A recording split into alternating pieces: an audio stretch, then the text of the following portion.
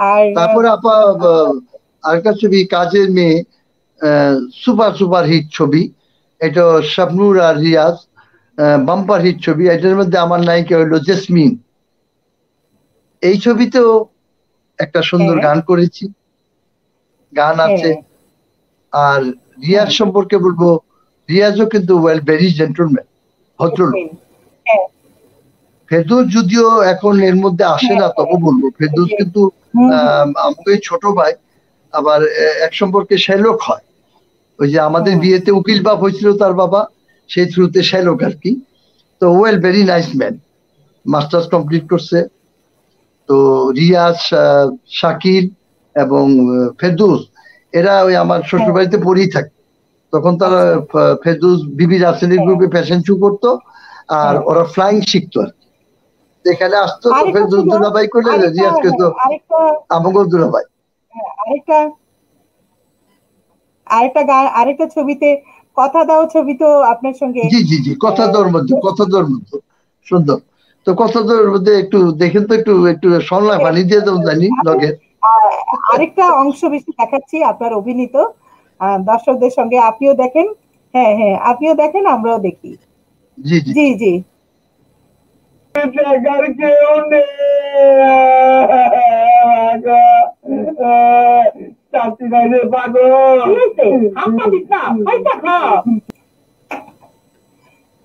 চমৎকার আসলে আহ সুরজ ভাই গান কিন্তু একটা ছিল আপা সুন্দর গান।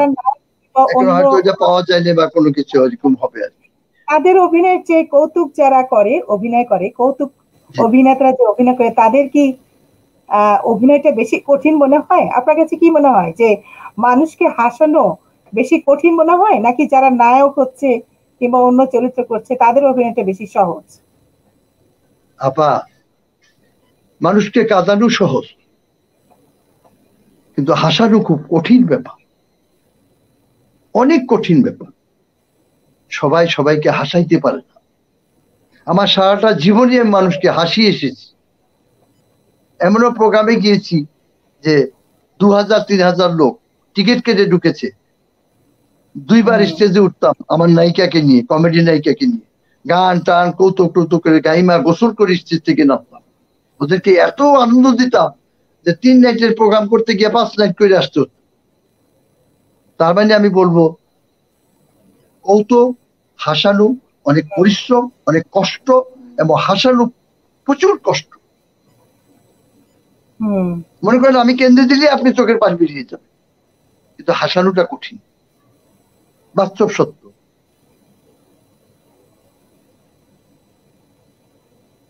সত্যি। হুম। সেটাই। তো সুরজ ভাই একটা সময় চলচ্চিত্রে আহ, কৌতুকের একটা পার্ট থাকতো অবশ্যম্ভাবী মানে খুব গুরুত্ব দিয়ে কৌতুক অভিনেতাদের একটা পার্ট প্রতিটা চলচ্চিত্রে রাখা হতো গুরুত্ব দিয়ে। এবং দর্শকরা খুব মজা পেত সেই অংশ দেখে। কিন্তু একটা সময় দেখা গেল যে কৌতুক অভিনেতাদের আর সেরকম ভাবে আমরা দেখি না। বরঞ্চ যারা নায়ক তারাই কৌতুক করছে। তো আলাদা করে কমেডিয়ান তারা রাখছে না।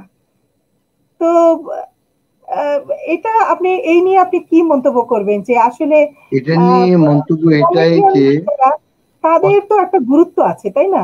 এবং প্রথম সময়টা কমেডিয়ানদের কোনো পার্টি নেই। জি জি যে প্রথম সময়টায় যখন মনে করেন খানাতা ভাই যখন ছবি করতেন আমজাদ হোসেন ভাই যখন ছবি করতেন কাজী জহির যখন ছবি করতেন জহির রেহান যখন ছবি করতেন বা আরও বড় বড় পরিচালক যারা ছবি করতেন তারা কিন্তু কৌতুকের চরিত্রটা গল্পের মধ্যেই নিয়ে আসতেন। একটা পারিবারিক ভাবে গল্পের মধ্যে চরিত্রটা নিয়ে আসতেন। কোনো বারামও নেই বাস্তব দিয়ে। ওইভাবে তারা নিয়ে আসতেন। একটা লক্ষ্য করে দেখেন যে আমজাদ হোসেনের গোলাপি এখন ট্রেনে নয়নমণি। এই নয়নমণি দিয়েই কিন্তু এটিএম সাবজুজ্জামান উঠছে মনুরের চরিত্র দিয়ে। তো এই সমস্ত ছবি তবে মিতা দাদার লাঠিয়াল না লাঠি লাঠিয়াল এইসব ছবি দিয়ে জাতীয় পুরস্কার পাইছে এইসব ছবির মধ্যে কমেডিও ছিল। হ্যাঁ। টেলিসাবাদ একটা সময় মেয়ে মানুষের মতো চ্যাও চৌ চ্যাও চৌ করে কথা বলতো। সেটাই পাবলিক খাইতো। হ্যাঁ। ওই সময় টেলির পার্ট না থাকলেও জনপ্রিয়তার জন্য তার চরিত্র জন্ম দেওয়া হতো। কিন্তু পরবর্তী সময়ে দেখা গেল আস্তে আস্তে সেটা হিরোদের উপরে চলে যাচ্ছে। হয়তো মনে করল কমেডিয়ানদের মাইনাস করে দিয়ে হিরো দিয়ে চালায় দিয়ে কমেডিয়ানদের ওই টাকাটা দিতে হবে। না এরকম করতে করতে তারপরে কমেডিয়ানরা আছে দেখা গেল যে কমেডি থার্টি পার্সেন্ট। হিরোই করতেছে সেভেন্টি পার্সেন্ট সেরকম আমরাই করছি আমরা জানি। কারণ আমিও তো চারশো ছবি করছি। আমার সর্বশেষ মুক্তিপ্রাপ্ত ছবি প্রিয়া আমার প্রিয়া মাই নেম ইস খান। যে প্রিয়া আমার প্রিয়া জিয়া সাকিব খান। একেবারে আসমান ছুঁয়ে গেছে।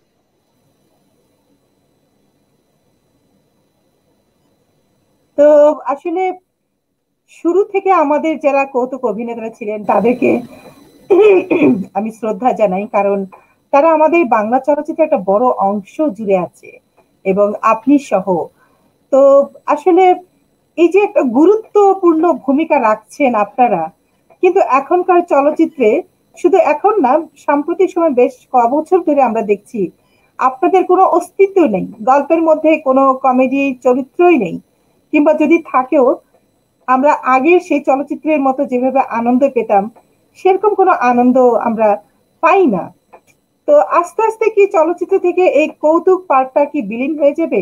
নায়কদের দিয়েই কি এভাবে কৌতুক করাতে থাকবে? এতে করে কি আসলে কোনো ভালো কোনো ফল হবে বলে কি আপনি মনে করেন? যে এই যে কৌতুক পার্টগুলো আস্তে আস্তে উঠে যাচ্ছে।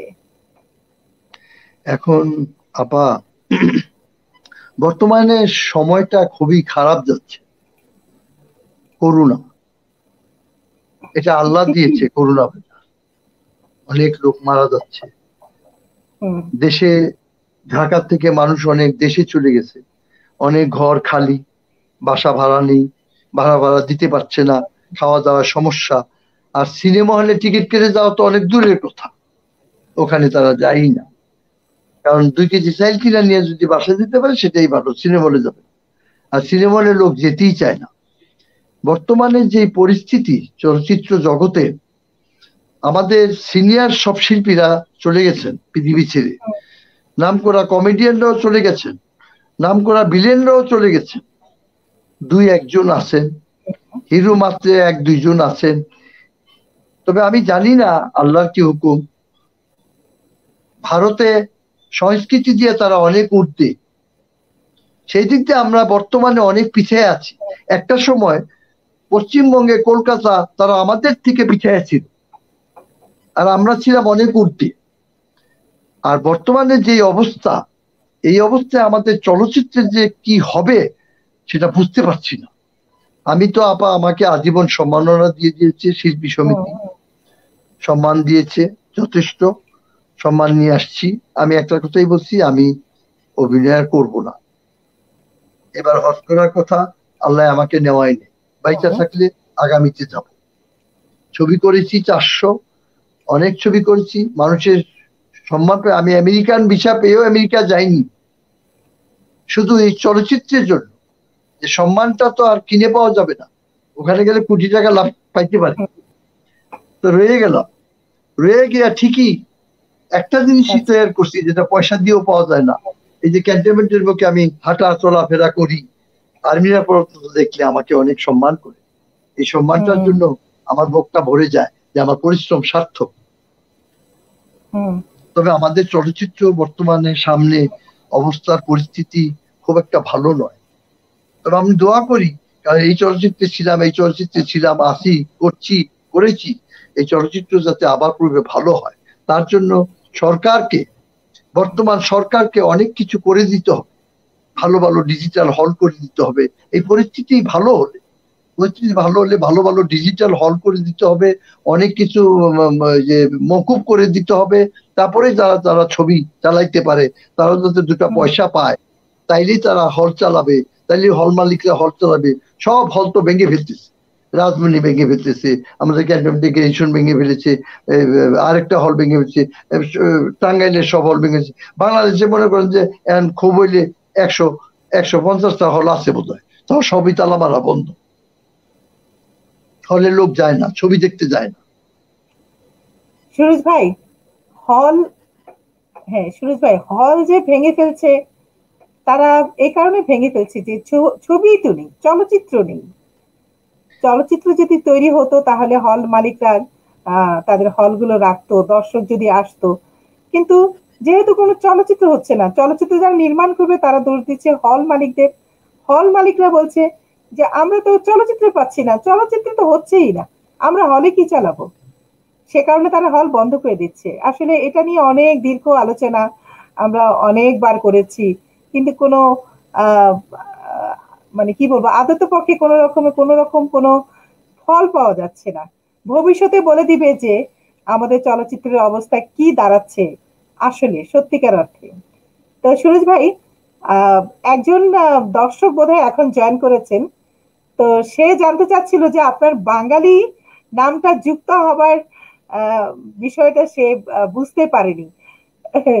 সেটা যদি আবার একটু বলে দিতেন।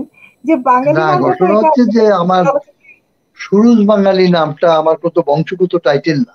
আমার বাবার দেওয়া নাম আমার হলো সুরুজ মিয়া সরকার।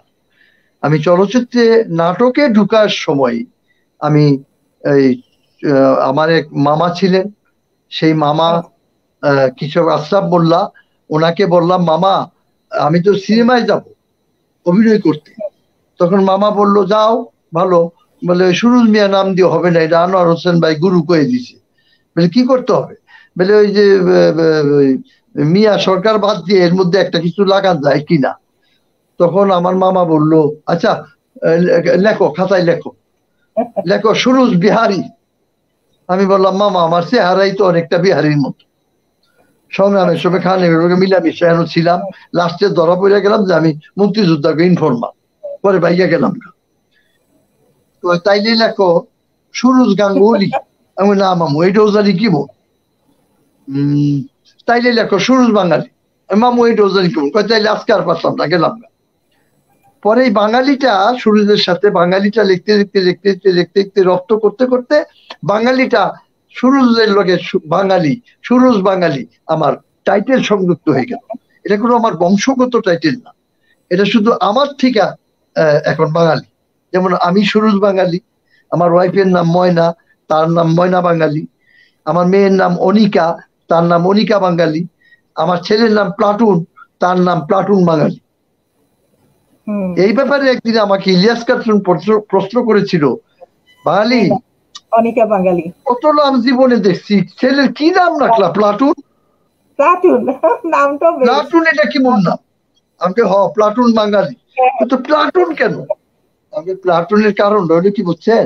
আমি যখন বিবাহ করি নাই তখন আমার বন্ধুর বাড়িতে পাঁচ সাতজন বন্ধু বসে একটা ওয়ারের দ্বিতীয় মহাযুদ্ধের ওয়ারের একটা ছবি দেখছিলাম। হ্যাঁ। ওই ওয়ারের ছবি দেখতে গিয়া একটা এক প্লাটুন তারা করছিল কি নিজেদের জান দিয়া ট্যাং টং নষ্ট করে দিয়া দেশকে জয় করেছিল। তখন আমি বলছিলাম যদি কোনোদিন বিয়া করি আর যদি ছেলে হয় তাহলে নাম রাখব প্লাটুন। তাই আমার ছেলের নাম রাখছি প্লাটুন, আর বাঙালি হইল আমার টাইটেল, প্লাটুন বাঙালি। আর আমি সুরুজ বাঙালি। এই আর কি আপা, এটা কোনো বংশগত টাইটেল না, চলচ্চিত্রের টাইটেল আর কি।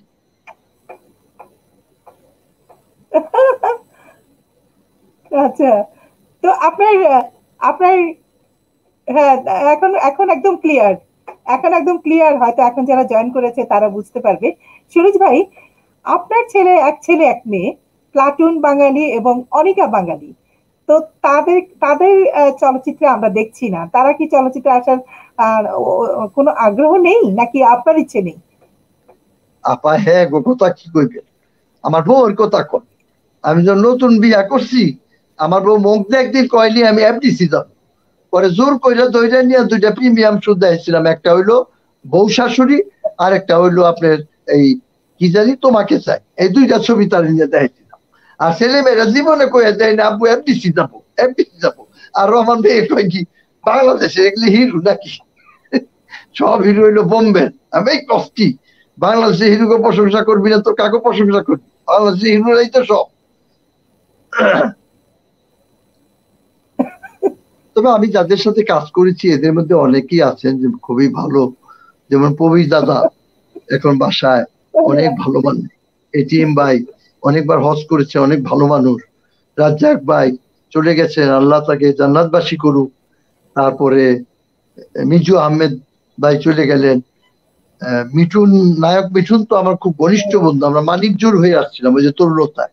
সেও চলে গেলেন। নাসির খান আমাকে খুব সম্মান করতেন। নাসির খানও চলে গেলেন। এখনও মিশা সৌদাগর আছেন খুব ভালো মানুষ ভালো ছেলে ভেরি নাইস ম্যান নামাজ পড়ে যার জন্য সে আজকে এত দূর সভাপতি শিল্পী সমিতির আমাকে এখনও বড় ভাই হিসাবে খুব সম্মান করে রেসপেক্ট করে। তারপরে জায়েদ খান আছে। জায়েদ খানও বড় ভাই হিসাবে খুব সম্মান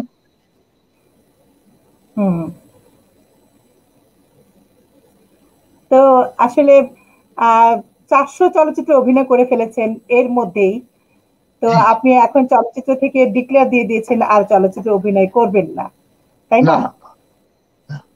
তো আমরা আপনাকে মিস করব পর্দায় যে আমাদের প্রিয় কৌতুক অভিনেতা সুরজ বাঙালিকে হয়তো আমরা পাবো না। কিন্তু তারপরেও তবে আপনি এইভাবে ডাকলে আমাকে পাবেন তবে হয়তো হস্টস করে আয়া পড়লে হয়তো তখন আর এগুলো যাব না যদি বাইচা থাকি।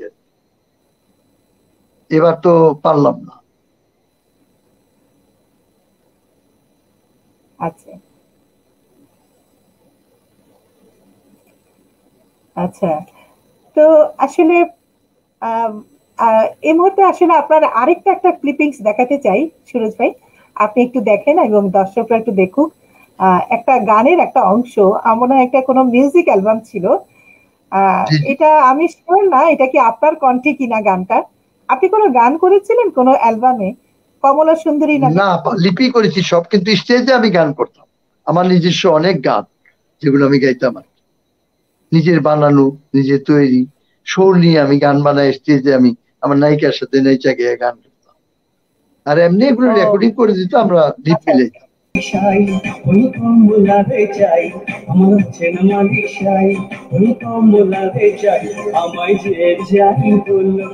কমলারে thank you thank you very much আপা।